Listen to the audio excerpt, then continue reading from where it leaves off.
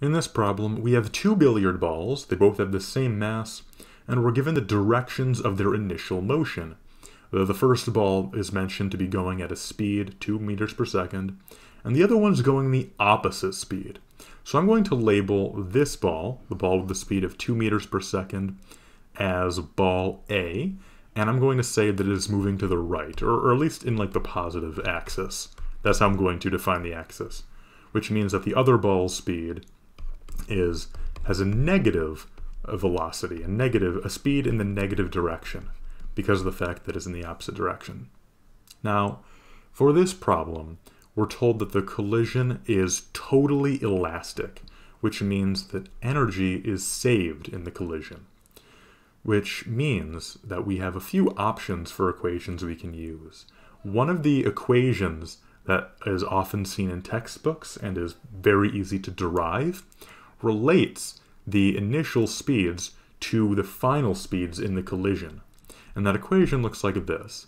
It says that the, uh, the initial speed of one of the balls minus the initial speed of the other, I guess not balls, but objects colliding. This is a pretty general equation in that regard.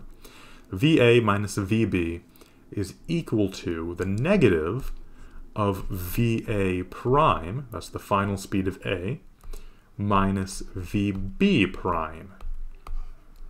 So we, this relationship gives us the, the relationship between the speeds before and after the collision only for elastic collisions.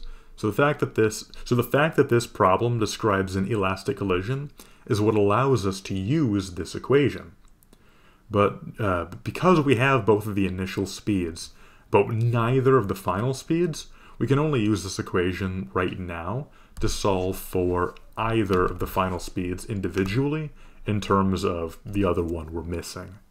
So in the case of this problem, VA minus VB, that's just going to be the same as 2 meters per second minus negative 3.6 meters per second. So the negatives cancel out and we're basically adding the magnitudes. So VA, the speed of A, minus the speed of, or the velocity rather, of b is equal to 5.60 meters per second. And that's equal to negative VA prime plus, the minus signs cancel out, VB prime.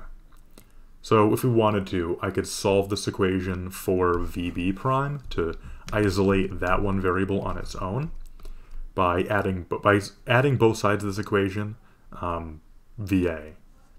So VB prime, for example, is equal to 5.60 meters per second plus VA prime. And this is an equation that we can't do much with right now. We can hold it in, we can hold it in our pocket and use it later, and it'll prove to be useful. So now let's just use our formula for the law of conservation of momentum and we all know the formula. It's MAVA plus MBVB. This is just the, the standard formula for the law of conservation of momentum. Of course, the masses aren't changing, but the speeds are. Except, as you might have already realized, there is already one way that we can very easily simplify this equation, because the problem tells us that both balls have equal mass. MA is equal to MB. And this is important. This is very helpful to us because since all that means all of these m values have the exact same value, which means they can all be canceled out. And we can rewrite this much more simply as VA plus VB is equal to VA prime plus VB prime.